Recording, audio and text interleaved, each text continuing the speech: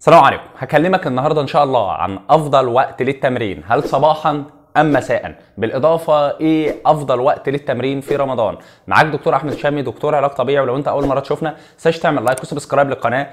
الدعم في الفترة الأخيرة بصراحة لا حقيقي شكرا جدا جدا جدا على مستوى الدعم ده. وال like هو مثابة شكرا اللي أنت بتقدمها لي. عاوزين نوصل الفيديو ده ل 500 شكرا أو 500 like. ده رقم قليل جدا مقارنة بالأرقام الكبيرة اللي أنتوا بتجيبوها لي. يعني أنا أتمنى نوصل لرقم أكتر من كده.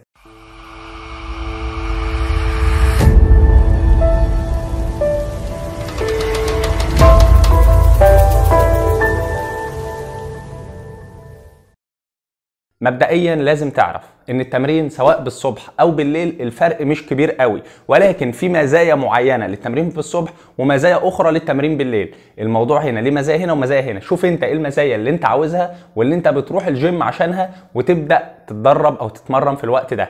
مبدئيا بالنسبة للتمرين في الصباح. فلو بصينا لمستوى هرمون التستوستيرون في الدم بيكون أعلى بنسبة تصل ل 35% عن بالليل. وهرمون التستوستيرون ليه فوائد كتير جدا. كنا اتكلمنا عنها في حلقة كاملة. تقدر ترجع لها. سيبها في الآي هنا أو هنا ولكنها بتدعم نمو العضلات. فالصبح كده كده هيفرق معايا إنه هيزود لي مستوى هرمون التستوستيرون في الدم وبالتالي نمو العضلات هيزيد. ركز للآخر ده مش معناه ان الصبح كويس. ركز للآخر. وأنا هقول لك الخلاصة ما بين الاثنين بالنسبة للناس اللي عايزة تحرق دهون وتخس فالصبح الحرق بيوصل لنسبة تصل ل 20% وبالجسم بيبقى في الصبح السكر في الدم مش مستوى عالي فبيبدأ الجسم يلجأ للدهون الاحتياطية ويبدأ يحرق دهون أكتر. فلو أنت عاوز تحرق دهون وعاوز تخس فالصبح وقت مثالي ليك علشان الموضوع ده.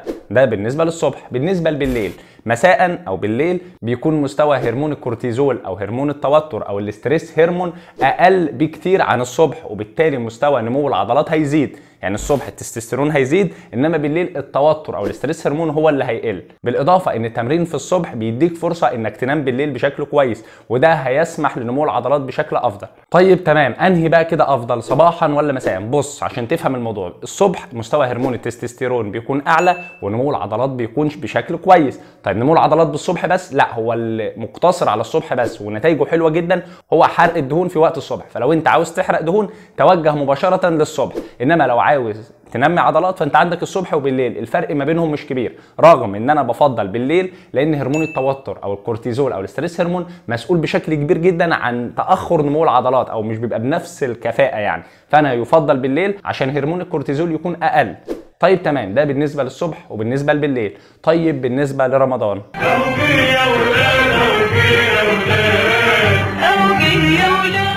بالنسبة لرمضان برضو عندنا فترتين. فترة من قبل الفطار بساعة أو ساعة ونص وبعد الفطار بثلاث أو أربع ساعات. مش فترتين كده والسلام. أنت كل واحدة بتختلف على حسب السن والصحة بتاعتك والغرض أو الهدف من التمارين دي من الأساس. طيب بالنسبة قبل الفطار مزايا إنك تتمرن قبل الفطار؟ إنك بتكون خلصت شغلك في اليوم كله فبالتالي الساعة ساعة ونص قبل الفطار دول أنت فاضي فيهم وبتفرغ وقت ما بعد الفطار بقى إنك هتصلي التراويح هتبقى ملتزم إنك تزور قرايبك فأنت فضيت نفسك بشكل كبير. فدي مزايا إنك تبدأ تمرين قبل الفطار. ولكن في بعض الناس ممنوعين من الموضوع ده.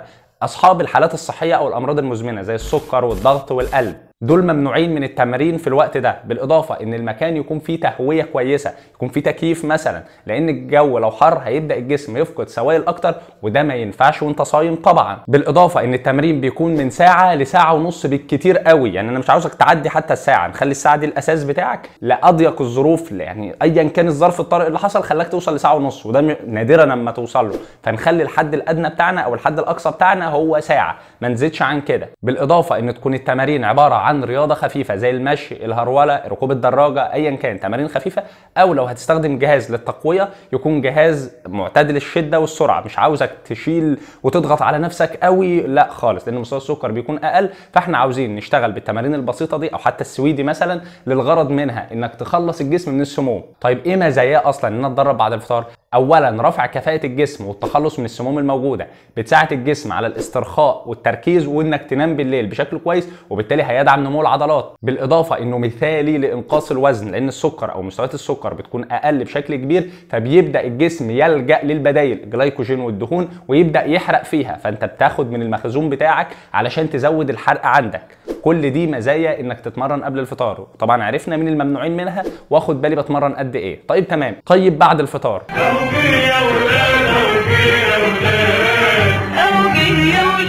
بعد الفطار هنا أنا مش عاوزك مباشرة بعد الفطار. أنت معاك من 3 ل 4 ساعات بعد الفطار لأن أول ما بتفطر الجسم بيكون مؤهل الدم والأكسجين كله رايح للمعدة. فلو أنت بدأت تمرين الدم بيبدأ يروح للعضلات فبيبدأ يحصل عسر هضم. فأنت خد لك من 3 ل 4 ساعات علشان تبدأ التمرين. بالإضافة إنك تشرب سوائل بشكل كافي. مش عاوزك تشرب سوائل بشكل كبير جدا جدا جدا بطنك تبقى منفوخة على الفاضي وعلى المليان وفي نفس الوقت مش عاوزك ما تشربش خالص فالجسم يوصل لمرحلة الجفاف.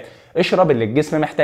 بالإضافة إن التمرين بتاعك هيكون زي قبل الفطار ساعة كحد أقصى ساعة وربع ساعة وتلت مش عاوزك تزود أكتر من كده. طيب التمرين بعد الفطار مناسب لمين؟ هو مناسب بشكل أكبر لمرضى السكر والقلب والضغط اللي أنا حذرت منهم إن هم يتمرنوا قبل الفطار. بالإضافة إن هو كويس جدا جدا للناس اللي عاوزة تحافظ على جسمها ما تزيدش. هو بيبدأ يزود الحرق و و و ولكن هنا هو مش بيزود الحرق من الجسم كله هو عادة بيركز إنه يزود الحرق في الأكل الزايد من وجبة الفطار. فلو أنت مثلا محتاج سي 2000 سعر وكلت 2000 ونص يعني معاك 500 سعر زيادة فأنت لما بتروح تتمرن بعد الفطار بتحرق ال 500 تبدا تاخد من ال 500 دول كأولوية. بالتالي الناس اللي عاوزة تخرج من رمضان زي ما دخلت بدون زيادة في الوزن بتلجأ للتمرين بعد الفطار. إنما لو أنت عاوز تخس بشكل كبير فيكون قبل الفطار أفضل ليك. كده إحنا ظبطنا الحوار كله الصبح ولا بالليل ومزايا كل واحد منهم قبل الفطار ولا بعد الفطار في رمضان ومزايا كل واحد منهم. نهاية لو وصلت لحد هنا ما تنساش تعمل like و subscribe للقناة وتفعل الجرس عشان توصلك الفيديوهات اللي بنعملها بإذن الله على مدار الموسم. كان معاك دكتور أحمد الشامي. تنساش تتابعني على الإنستجرام. حاول نرد بإذن الله في أسرع وقت. في أسئلة كتير جدا جدا جدا بعتذر للناس اللي أنا ما ردتش عليها. بس كده السلام عليكم.